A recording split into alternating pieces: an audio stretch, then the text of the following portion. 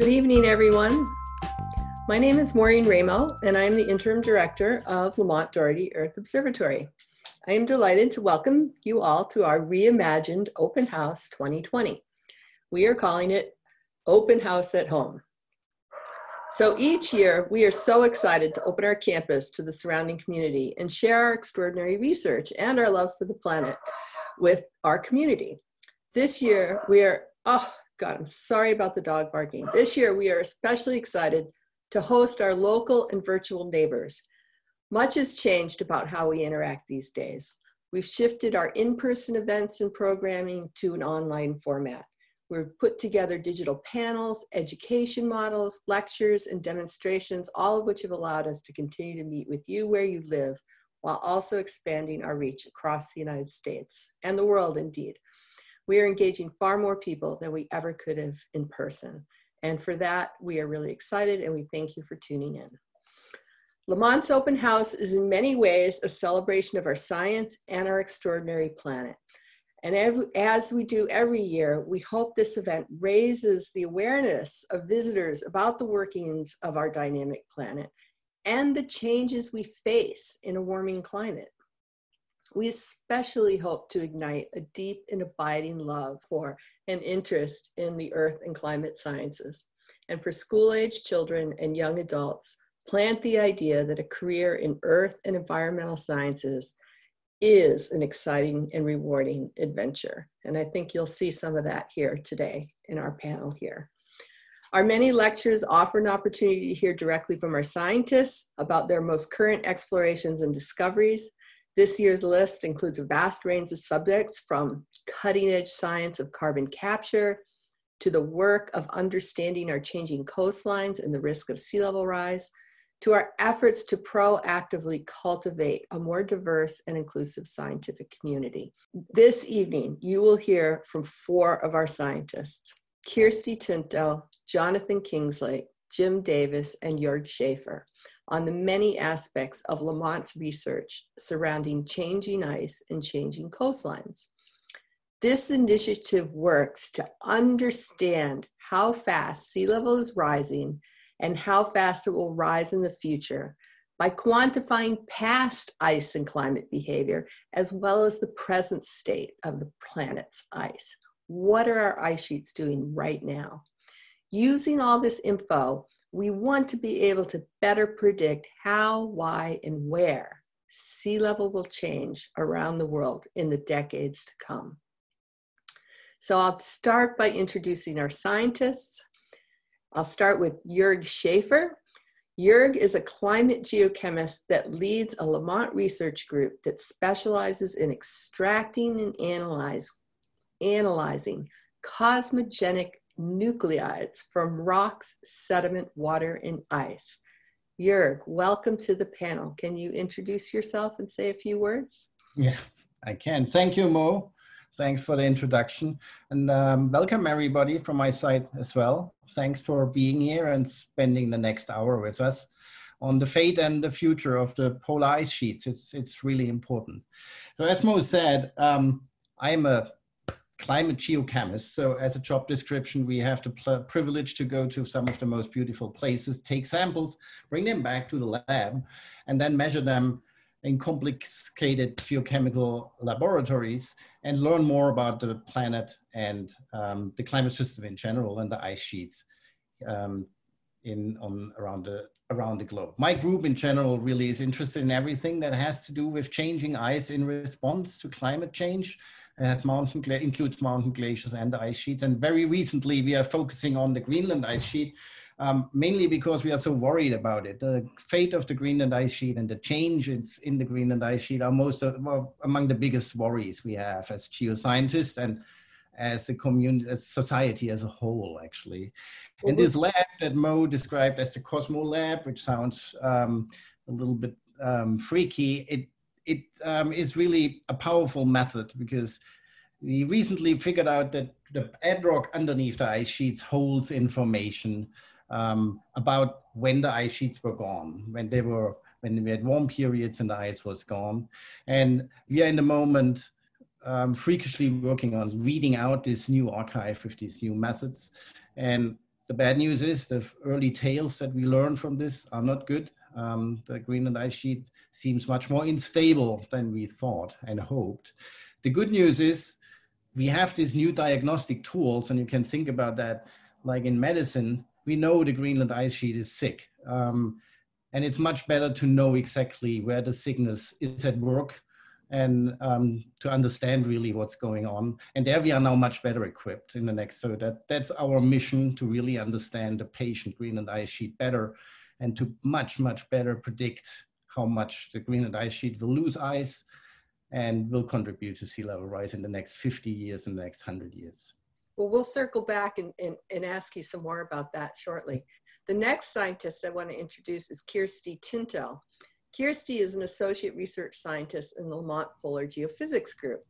Kirsty led all three field expeditions of the Rosetta Ice mission to survey the Ross Ice Shelf, and we'll hear more about that later. This is in West Antarctica. Kirsty also works on local responses to sea level change around Greenland. Kirsty, welcome. Hello, thank you. Yes, I'm Kirsty Tinto. I've been at Lamont for 10 years now, and in that time, I've been involved in some really large scale observation campaigns in both Greenland and Antarctica. Um, a lot of my work has been done from aircraft because these ice sheets are really big. And if we want to understand them, we need to measure them. And a way to make precise measurements over large areas is to put a lot of instruments on a plane and fly back and forth so that we can actually map the planet that we're living on and start to understand how it works. So I've spent a lot of time in planes over extraordinary landscapes, measuring the surface and looking inside the ice. And my personal um, obsession is the landscape underneath the ice and how different systems, uh, the, the way that the ocean moves and the way that the ice moves over the landscape and how they interact with each other. Um, so I've been doing a lot of that work and I'll, I'll get to talk to you about some of it later on. And um, yeah, that's me. Thanks, Kirsty. We'll, we'll definitely be circling back, back to that. Um, the next scientist I'd like to introduce is Jonathan Kingslake. Johnny is a glaciologist and an assistant professor at Lamont and is in, in and is also in the polar geophysics group. His work is focused on modeling and observing ice, as well as the water that is flowing in, under, and over ice sheets and glaciers. Johnny, welcome. Thanks, Mo. Yeah, I'm Johnny Kingslake, as he said, and I've been here for about four and a half years. And we're going to hear a lot about how ice sheets and glaciers change, and specifically how they grow and shrink. And I think what my me and my research group really focus on is the processes which allow the ice sheets to change, you know, how they grow and how they shrink. And so we'll talk about some research projects which I'm leading and involved with, which are all about how the ice sheet could, or particularly Antarctica, could, could shrink quite dramatically in the future. So look forward to that.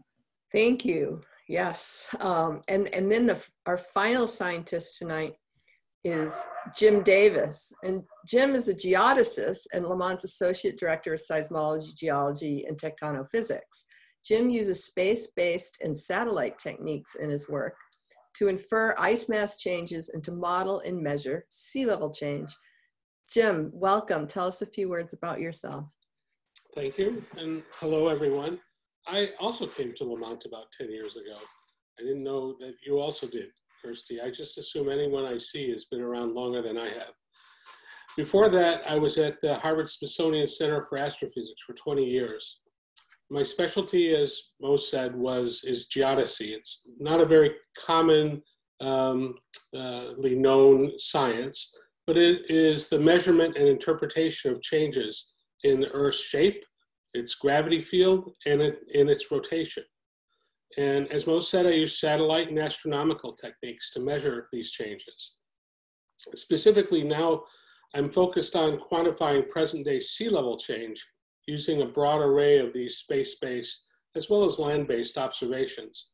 There's, there's so much noise in this system that obtaining really accurate measurements of sea level rise are actually quite difficult. Um, I, I, often say uh, you know, imagine standing on a seashore and you have the waves lapping up on your feet. and it's the water subsides and goes away and it comes up and maybe the tides come and go. And now imagine going away and coming back after a year and saying, well, this ocean has risen three millimeters. that's not easy to get. And uh, that's primarily what I'm uh, involved with. Thanks, Jim.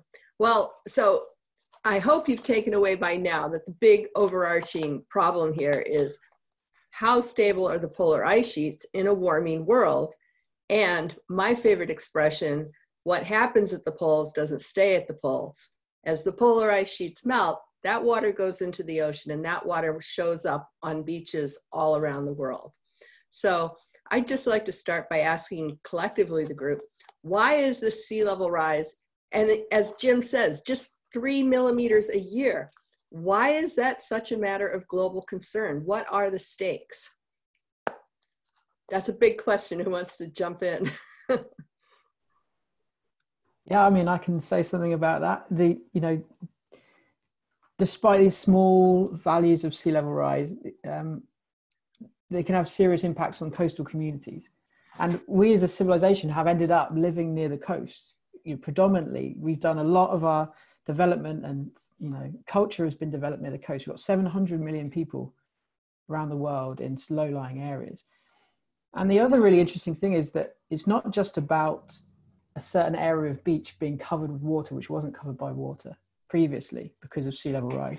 It's due. It's all about changes in how often big floods happen. And it's what a really interesting effect is that you raise the sea level a little bit, damaging floods actually get drastically more common. And so that's one thing to bear in mind when you're hearing these small numbers sound a little bit small. It's actually have these outsized effects on people trying to have have their lives and their livelihoods in coastal areas. Those little numbers have added up too over the course of the Industrial Revolution we've had about a foot of sea level rise here here in New York City, and and and certainly the damaging king tides and storm surges are, are already felt.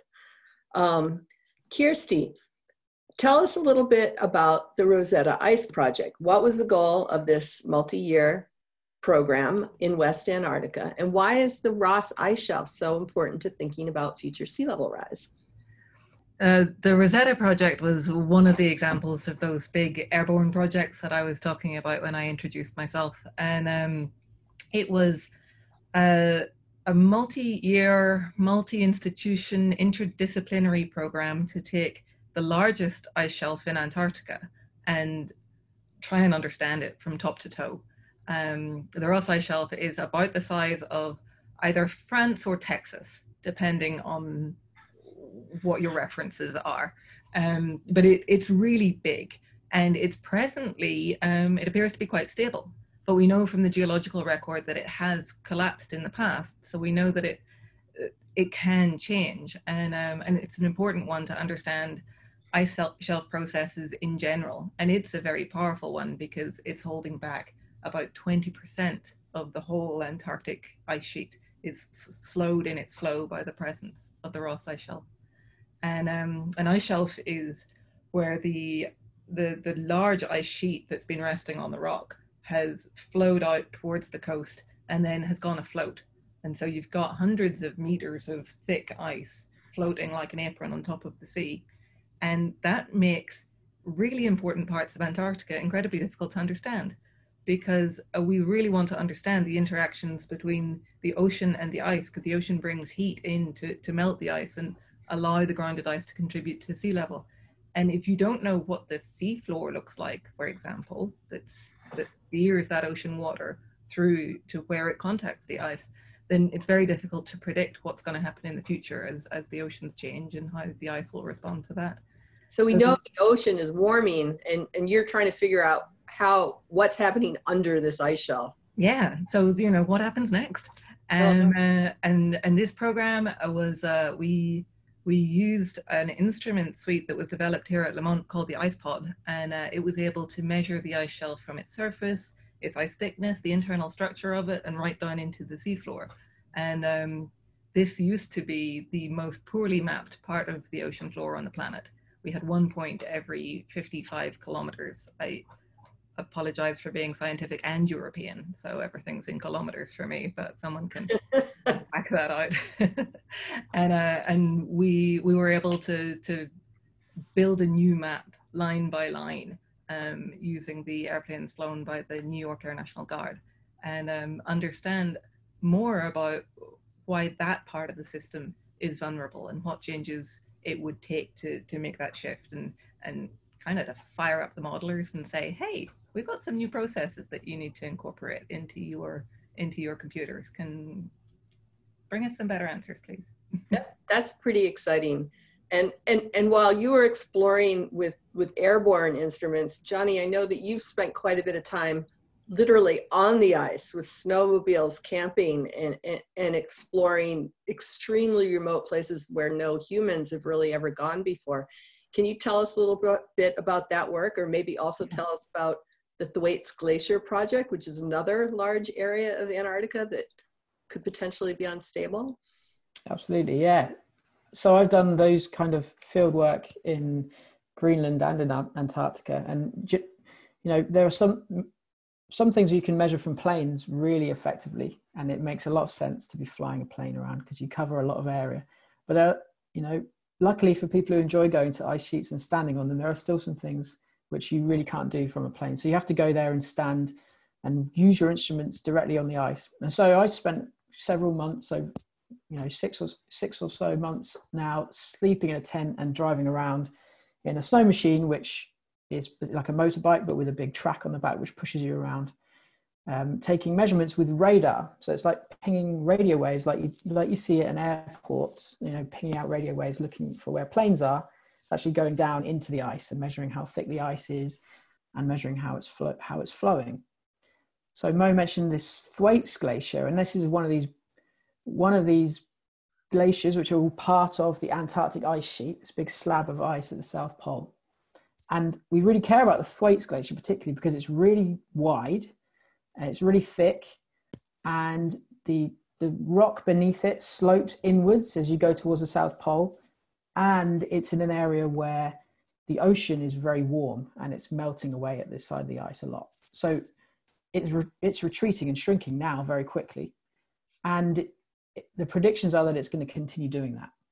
So why are we going there? Well, we're going there to use that radar I talked about to measure how the ice is flowing now in detail, to try and improve how computer simulations describe the ice flowing over the rock underneath.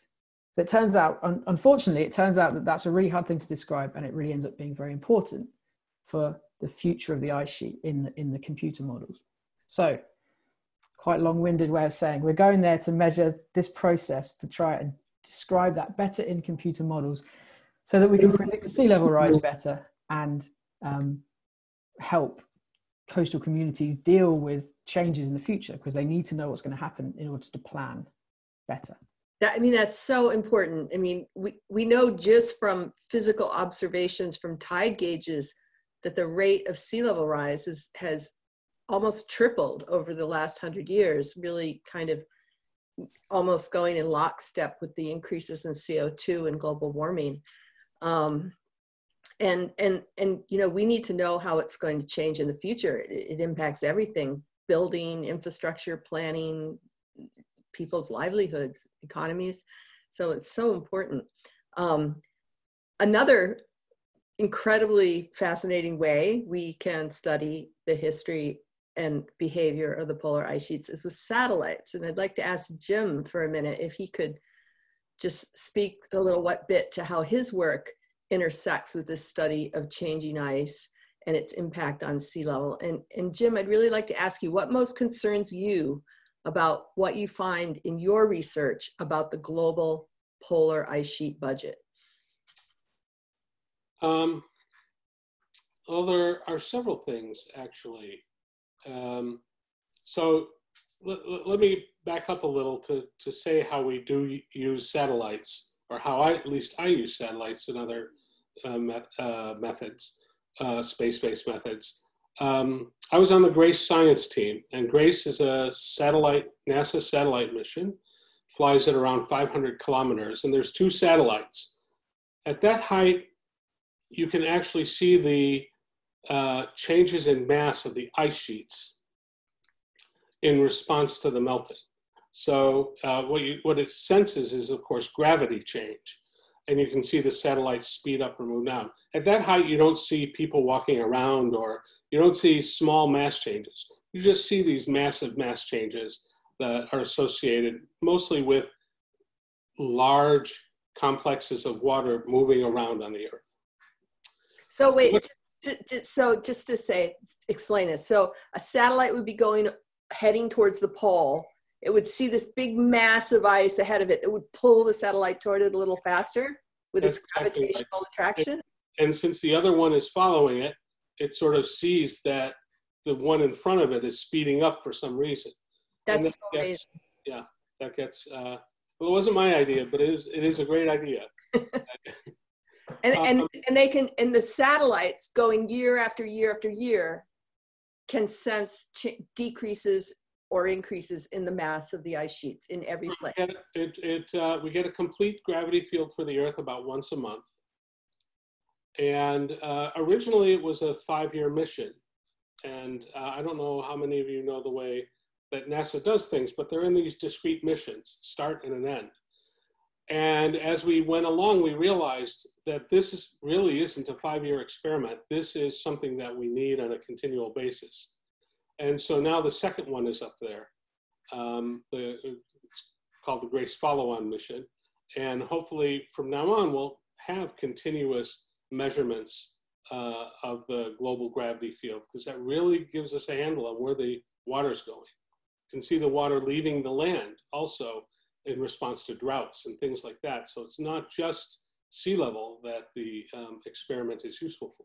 Uh, but you asked me about what was uh, what are uh, my some of my biggest concerns about the global sea level budget. Well, one thing is that even though, as we said up till now, it's only been a few millimeters per year of global sea level change, um, I'm a little worried that at that magnitude, that that's not enough to really spark a, a, an emergency reaction from humanity, right? Um, you know, I've had a lot of people tell me, well, three millimeters a year is no big, big deal. And even over a century, uh, you know, a foot, uh, whatever, it's it can be dealt with. The thing is, over the next century, that's not expected to maintain itself. It's supposed to increase very rapidly to the point where we're talking about half a meter to a meter of uh, sea level change uh, in the next uh, 80 years or so. So that's one thing that worries me, that the, the, the sea level change actually hasn't been rapid enough that we've noticed it, that it's, that it's on people's minds, and mitigation of this problem will take a long time. It's not something that we can just go out and the next year engineer a solution to.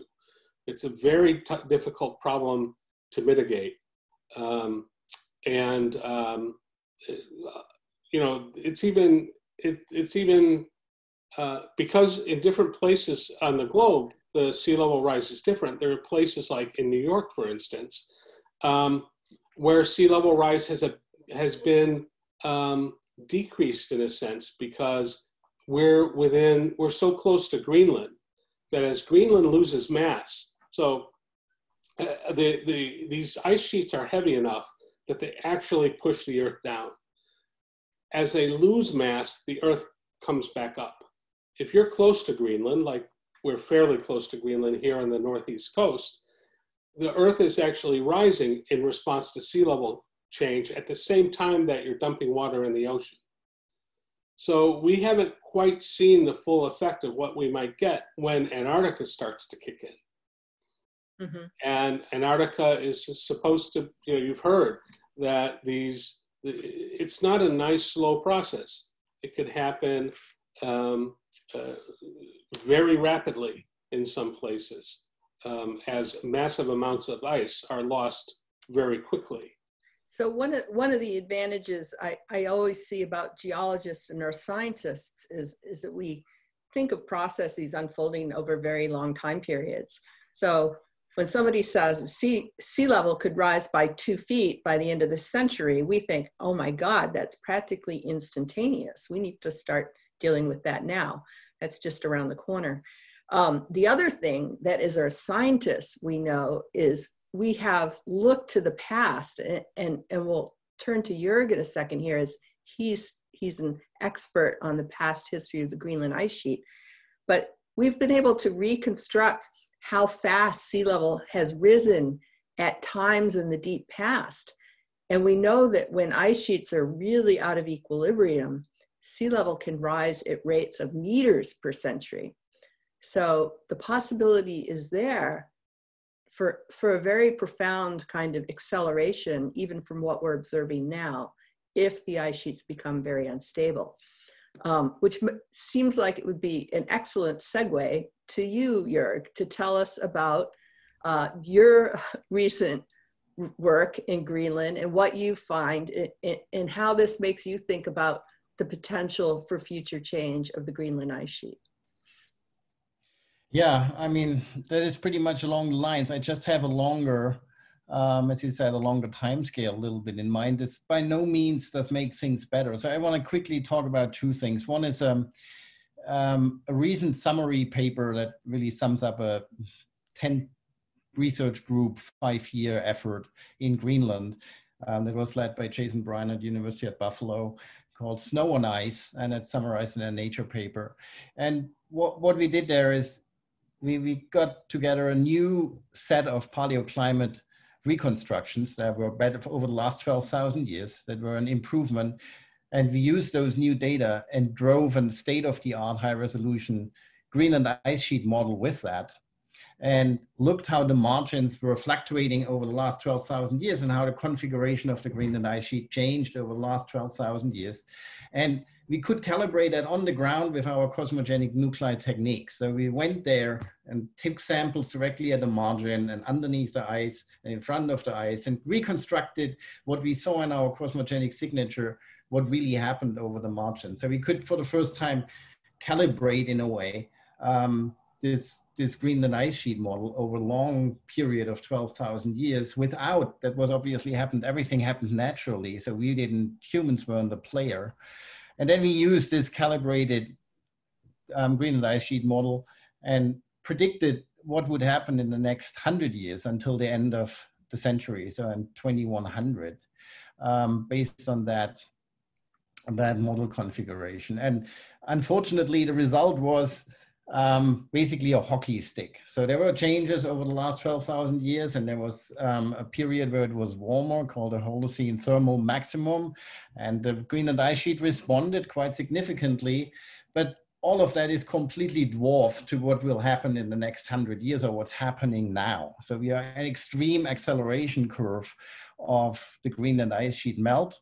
And we drove that for the future with everything, all the scenarios that the IPCC reports provide us, the most optimistic ones with the smallest warming already exceeded substantially everything that we have seen over the last 12,000 years.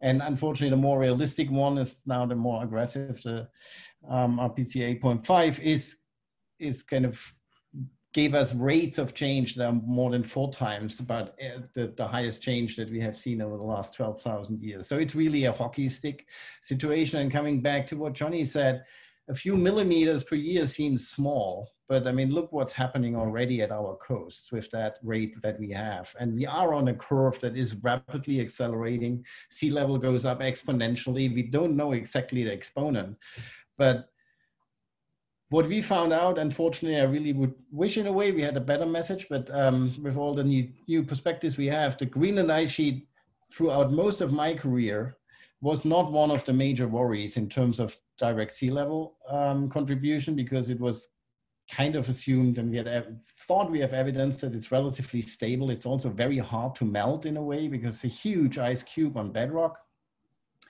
But unfortunately, we know now that um, that was not the case. So it is. So here, the, the, the hockey stick with, you know, when the, I, the history of the Greenland's going along, where is that inflection where you uh, see that melting really accelerating? Is that? Well, really started in, it started about, we started, the, the onset of the hockey stick is really 20 years ago and it goes now um, acceleratingly exponential until 2100.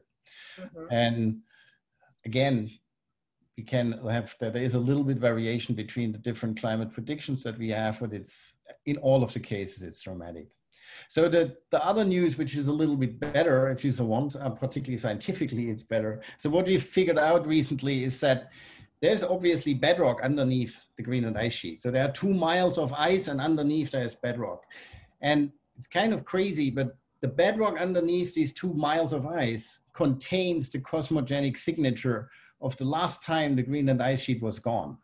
So we figured out that with the bedrock underneath the ice sheet, we have an archive of the smaller, the Greenland response to warm periods. So we can basically drill through the ice sheet, get these bedrock samples and map out how the Greenland ice sheet responded to past warm periods. And that um, it is really a scientific dream that we can have these direct observation, scientific dream coming through.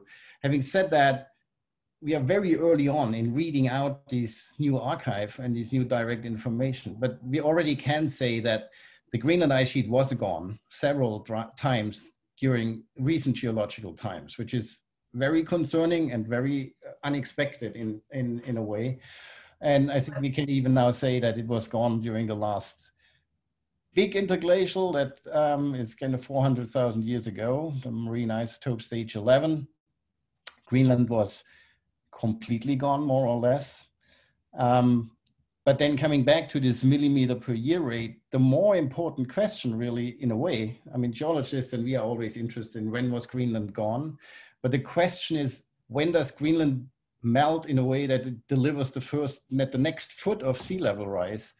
And how did that happen? Where does it melt? At what rate does it melt, etc. That's way more important for the for the societies in the moment. So the next foot is key and there we have the tools. We can map this out. We can investigate that and we will produce a map that will tell us, I, I think. And I'm very optimistic that, that we, we can point to the most vulnerable margins and say that that is where it will happen again.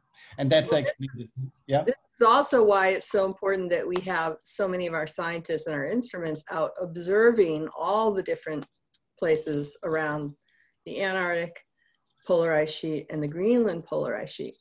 And yeah. in thinking about sea level, um, Jim, you alluded to something that's really interesting and, and, and another kind of expression I often use with, with non-scientists is that it, it would be wrong to think of the ocean as a bathtub where the sea level goes up and down equally everywhere. And actually the, the surface of the ocean is, is much more complex and it, and it has, think, has to do with things like the gravitational effects that Jim referred to. And one of the really ironic things that, that was such an epiphany to me when it was explained to me about 10 years ago was that the Greenland ice sheet is so massive, it pulls the ocean towards it just with its gravitational attraction. And ironically, that means as the Greenland ice sheet gets smaller, the ocean uh, falls away from the coast of Greenland and so I'd just like to ask Kirsty and Jonathan a question right now. Ironically, the coastal communities of Greenland are going to experience a drop or a fall in sea level as the Greenland ice sheet melts. And I know that both of you are working with a project called Greenland Rising, rising out of the sea, um, with local communities. Can you talk about what that experience has been like for you, working with, with, with the indigenous communities in the region? Well, yeah, th- this project I think is a great one to to bring together everything that we've been talking about already this evening because uh, the project that we're working with is uh, is looking at four different communities around Greenland and how they how they will experience sea level change in the next hundred years or so, and um, it's it's bringing all this cleverness all these satellite measurements and uh, geological history models of the ice sheet and uh, processes and understanding of how the ice is the ice and the ocean and the earth are going to change in the future. And uh, that's all quantitative. And people have been living in greenland for a very long time and they're all living on the coast because there's an ice sheet in the middle of the country. And um, so greenland is just a series of coastal communities with people who know how to live there and know how to live through change. but we're expecting changes that haven't been lived through before by people. And so we're trying to bring together um, the understanding of the people who really know a place and the understanding of the people who know a planet and uh, and trying to get all these quantitative models to and and make measurements within these settled these towns um, to to try and bring our predictions and the understanding of how to live in a place to develop models of how individual communities can be resilient and can anticipate the changes that are coming and can prepare for them. So that's a, that's the the heart of that project and why it's so relevant to what we're talking about this evening. I, I love that expression, the people who know a planet brought together with the people who know a place. Johnny, have you have you worked in these communities as well? Well, no, I mean that's a beautiful way of putting it, Kirsty. So I can't really top that. But the um, so the so the the project is a really great one because it is bringing in those communities and and much to Kirsty's credit, really, this hasn't been completely curtailed by COVID. This project it has gone ahead, even though there was plans for many of us to go and join community discussion groups where you'd find out where are the fisher fishers going and where are they finding places where they used to be able to go and now they can't because the bathymetry or the depth of the ocean is now shallower. And we've had, we've heard stories of at least one of those which is quite exciting for a project focused on that exact thing for the future. So that was the plan but obviously we were not going to be traveling very much this summer so Kirsty and, and everyone in the project has managed to, have, have managed to arrange the um, the Greenland Geological Survey essentially to to do a lot of the work and work with those communities on our behalf in some way. So it's bringing in that that geological survey and the indigenous communities, and we've always, you know, rather sadly been remote and you know communicating with them regularly, but yeah, it has worked out really nicely, and it's going to. I'm looking forward to you know the rest of the project post post COVID. Yeah, it's it. I think there's so many scientists at Lamont right now who, who who miss, well, who have had to put their field expeditions on hold, and it it's it's hard. It's bittersweet. It's it's sad. So we'll we're, we all want to get back out in the field as soon as we can. So I can see that that questions are coming in, and, and but I'd also but I'd like to just maybe kind of wrap up this part of our panel by asking each of you, it, you know, it, is there something that you'd like to leave the audience with? Your thought about what you do or why you do it or or what you think people should be thinking about or worrying about? Should i start with you jim? Yeah it's a, that's a hard question. Nothing uh, uh immediately pops comes into mind. I think um, it's the societal questions that are the impetus. But the focus, at least for me, is on the science. And I think that's the way to go. Try to understand the problem. And I see there's a question that asks what our, uh, uh, our greatest challenges are there. So maybe we'll get to that. And try to understand the problem. And everyone here is doing that in a different way. And as you said, all the observations are needed to make sense. This is a highly complex problem. Just the climate itself is complex. How it interacts with the ocean and the solid earth adds extra layers of complexity. So focusing on the science, but being driven by the societal uh, questions uh, and societal issues um, is the way that I like to think how I do my work. Thank you. Jörg, would you have any takeaways you'd like to leave our audience with? The one really motivating aspect of this new era of earth science that we are in is that we are all scientists and we do um, some rather extreme basic science experiments at some point. But what seems really new in the climate field in general is that, and really exciting, is that we we um, in a way are driven, um, but it's also really just an exciting journey to see how the basic science connects so seamlessly to to societal science and to societal impact and how it's get, becoming very clear that it's mandatory to have projects like Kirsty is leading where we have really bring together the scientists and the and this um, the communities that are impacted by it directly. And how this is not a one-way stream, but it's really kind of a, um, a win-win situation if you get this together. So I'm looking very much forward to that. And then in general, the take-home message is, I think, for um, our viewers and our friends here joining us, um, be, believe in science. Um, we are we are um, really we, we are on a track to decipher one of some of the really really big problems that we will need. And join us for the young ones. Join us um, look into earth science. It's a really fascinating field. It will be or there is already and will be accelerating. So to be will probably one of the most important things that we can have to do as as all um, human society together. Especially as our planet is changing so fast right now Kirsty, would you like to leave us with some more inspiring words? Get all fired up again. Um, I think I think my takeaway is that this this is an important question, and I think I think there's a everybody understands that it is important on a on a personal level. Um, it's really important to me to emphasize that it's measurable. You know, I've been involved in these observation campaigns and some of the measurements that we are able to make now are mind blowing. You know, it's really amazing the precision um, that we can record this system in. So uh, I think we should be encouraged by that. And yes. with those measurements, that it's a it's a plannable.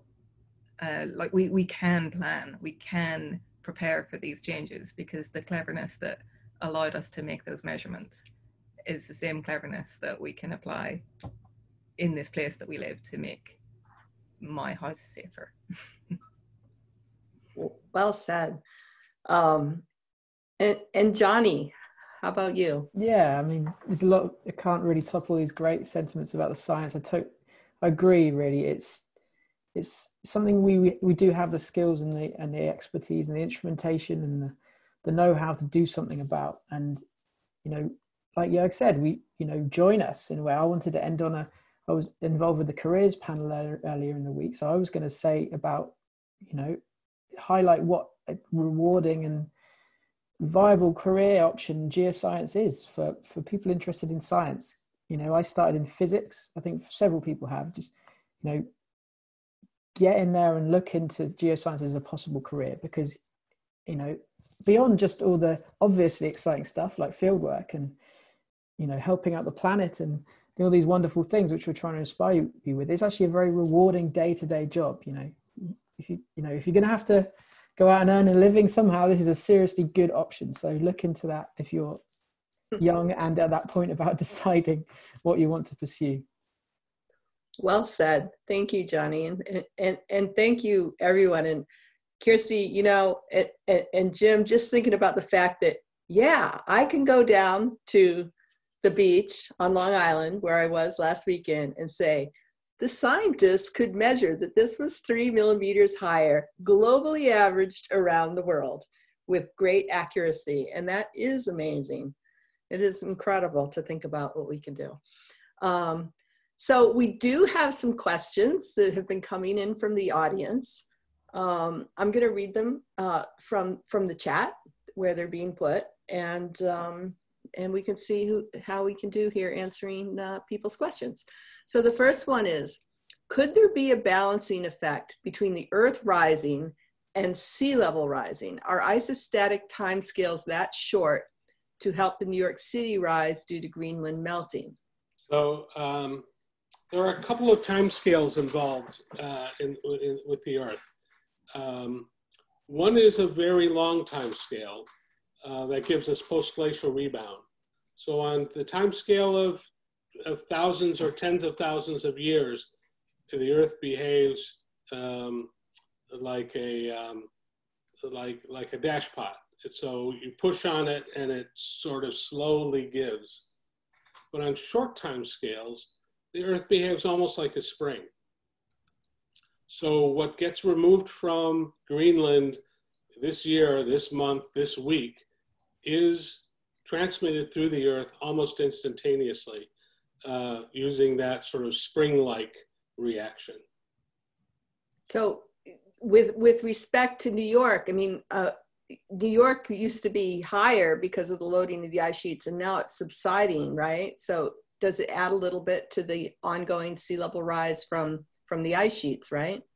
So up till up till now, up till recently, let's say, the the dominant impact of sea level in New York was the long-term post-glacial rebound signal. We, we happen to be so in in uh, northern Canada, twenty thousand years ago, there were three kilometers of ice that melted very rapidly, and the Earth is very slowly coming back to its original shape. That's causing the land to rise in uh, in Canada, but we're kind of outside that, and we're actually falling to kind of uh, uh, conserve mass, so to speak.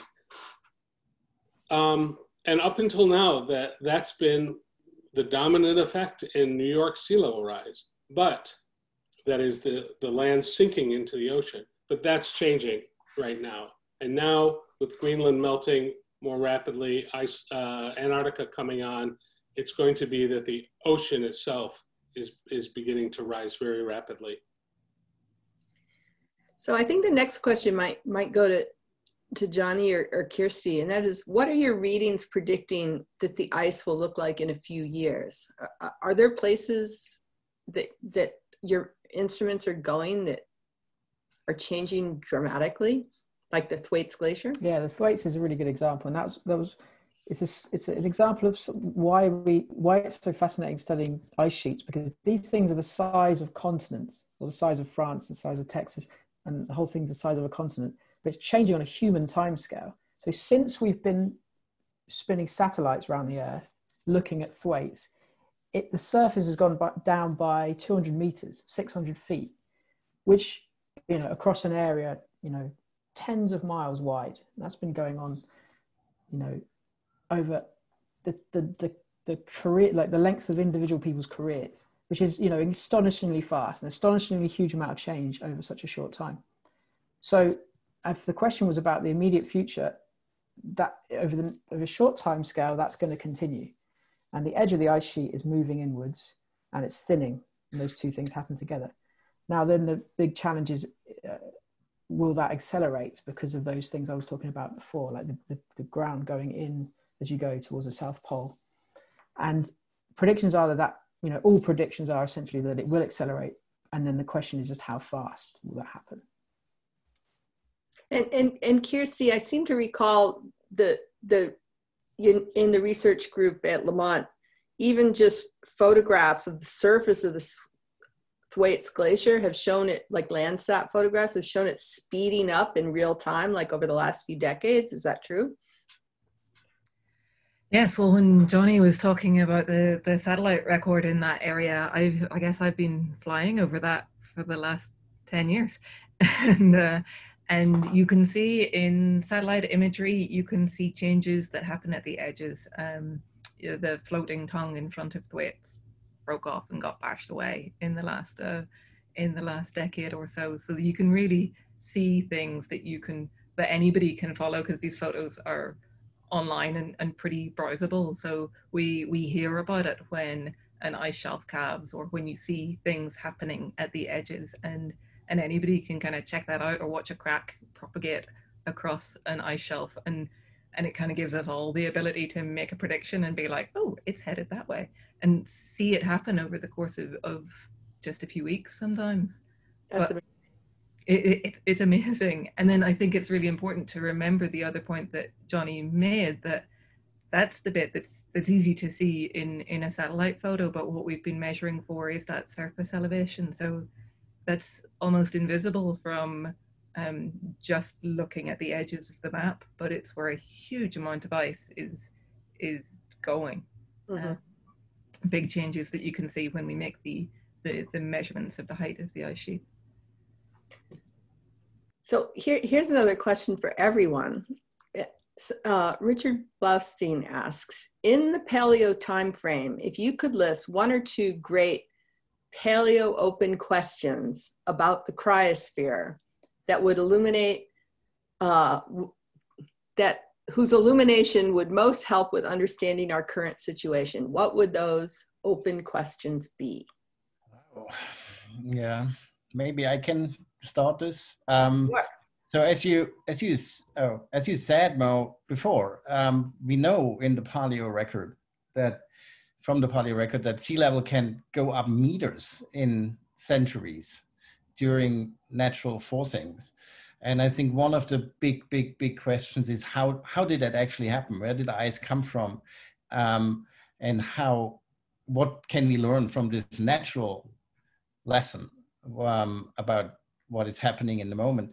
Um, and the second part of sentence, the other statement I want to make is that kind of if I want to reduce all my research about ice changing over since the last ice age or through the last ice age over the last 20,000 years, then certainly one of the major lessons is as soon as the CO2 really changes, as soon as the CO2 goes up, ice follows almost like a slave. And um, giving that what we are doing in the moment in terms of CO2 rise and emissions into the atmosphere, we just have to be aware that we will we will tip the system. And it's really so mandatory that so important that people who are really looking deeply into processes like johnny um, will teach us down the road exactly how does this happen? How does this what does this mean? Where is the tipping, tipping point and what happens if we are really pushing the system over? Because we will and we kind of know that if you put um, one and two together from the paleo record Anybody else? Yeah, and I could give a couple of specifics. So the, there's times in the past where the CO2 and the and the temperature has have been higher than today, and quite simply, some you know people are asking, okay, we know that. What were the ice sheets doing? And this is Jörg's research really, and the, the one where I'm, Mine. Yeah, uh, West Antarctica is the one. So West Antarctica is a part of Antarctica which is seen as quite vulnerable because it's below the, the bottom of it's below the sea level. It displaces the ocean, like it's, the ocean laps up against it. And so the, you know, really as simple as this, it's just did that collapse and disappear during that time when it was warmer than it is today? Because if it did, of course, then you might worry about the future where it's going to be warmer. And actually, and Jörg's done the same thing in Greenland. So Jörg's actually done this amazing thing and actually drilled through and found some evidence that it was gone in the past. West Antarctica, they haven't done that yet. They haven't managed to work out how to do that. It's still the, what's the word? The the the um the holy grail of of that research is like what happened in West Antarctica in the last interglacial, it's called, and um, people have tried to come up with more and more imaginative ways of trying to work it out. Even looking at the DNA of different species on opposite sides of the of the ice sheet to try and work out whether they were connected at some point. All, Mhm. all sorts of wacky ideas trying to work out that answer, and you know there are still, you know, people are still working on that. So that's one of the um, the spe- specific questions. So, so I'll, I'll, I'll go to the next question now. And um, what are the great challenges facing the scientists who are doing this work at this time? And I'll, I'll, I'll throw it out there. Is it logistical? Is it funding? Is it keeping, being optimistic, keeping your psychological balance? What is it? all of the above I mean, COVID is certainly one of the biggest impacts that the science that I mean, many of us go to the field and we have field-based programs, and that's basically kind of um, frozen by COVID in the moment. So that that is a huge challenge. Having said that, it's kind of probably on a time scale that we can still deal with. Um, but yeah, I mean, I must say that for me personally, it's kind of this strange mix of excitement as a scientist to find new tools and see new things and kind of get completely new information in a way you're always bringer of bad news if you have that it's just never kind of working with ice it seems like there's never really good news in the system in the moment. It just it's, it just gets more. So there is a psychological um, problem and of course the entire um, as we all know the funding situation is always the instability of the funding is always a, a permanent challenge for all of us of course. But they did get they did get a second GRACE expedition up there pretty quick, which is that was a good that was a funding success story. Get- and we got funding to drill through Greenland for the first time since the 90s. So there's, I mean, there's a lot of things that we have to also list on the positive side here. Um, Anybody else? I, would like to take a slightly different um, uh, perspective than Kirsty did on the accuracy that we have. I am bowled over by the accuracy that we have, so I don't disagree with you there. But um, in order to get accurate measurements of sea level change, we often have to combine lots of data, uh, sometimes over decades, to predict, say, what's going to happen just, say, next year, or even um, over the whole globe. And with the climate changing ever more quickly, it's a great challenge to try to get uh, more and more rapid estimates of what the sea level is doing. And so even though, yeah, we have great accuracy, uh, I want, I want more. I want better accuracy. I've got to jump in with that then, since we were both speaking at the same time to begin with, and I, what you said is exactly in line with what I wanted to say was the greatest challenge, because um, my, my thought was that it's it's about bridging these scales. That is what's so difficult to accomplish. That uh, you talked about being able to map the gravity field of the Earth every month, and uh, how long did it take to do that the first time? um, so these last few decades, where we know that really rapid changes have been happening are also the, the first time we've had this kind of high resolution of of data coming in and being able to measure things in this way and and we really need to understand how the planet responded to these sorts of circumstances before we need the paleo work that Jorg is fighting for one data point or, or one coastline and finding ways to to look at the processes that we can understand in high resolution and finding ways to to get better resolution on that and bridging that understanding with these sparse data points that we have that go way back into the past.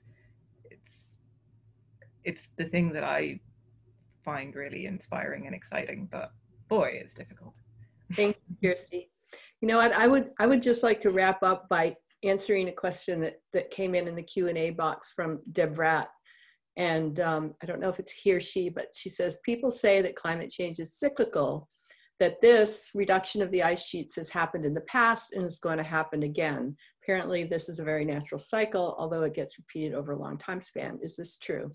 And I'll say, absolutely, this is true. This is, we study Earth's history. We know that the ice ages are cyclical. We know that the ice sheets grow and the ice sheets uh, shrink back. The ice sheets have, have grown all the way down to Kansas in the past. They've gotten so vast, and sea level has dropped 130 meters. So, what is happening now is much faster than the natural glacial cycles. The natural glacial cycles should be making the world colder right now. And, uh, and we are warming the world by putting greenhouse gases into the atmosphere, which are natural gases, but we're putting them in at a rate that is about 10 times faster than volcanoes, faster than geologic processes can take them out. And but but the thing I like to leave idea I like to leave people with, it doesn't even matter if humans are the people causing climate change right now. The fact is is that the earth is warming and there's like half a billion people that are living near the shorelines in our modern civilization. So we have to figure this problem out whether we caused it or not even though we did cause it. But you know this is this is tricky. So we have to take everything we know about climate and how climate changes naturally and, and and, take all that information and figure out how to solve this problem. And and it looks like the easiest way is to really rapidly try to take the co2 out of the atmosphere because we can't move our planet further from the sun which would be another solution. so I'll just leave it with that. I, I hope that this panel inspires people to go out and do more research on their own if they have questions um, and, and think about Earth's climate cycles and, and what we're doing and, and the impacts of sea level rise, what a world would look like if sea level was two, six feet higher than today, for instance. Um, and I'll just wrap up by thanking everybody on the panel. Thank you Jorg, Johnny, Kirsty, Jim. Um, thank you for all that you do and all your work. And thank you for everybody that's been listening and tuning in all week. I hope to all our different, um, all our different panels and, and, and lectures and discussions. So thank you, everyone. Yeah, thank you. Thank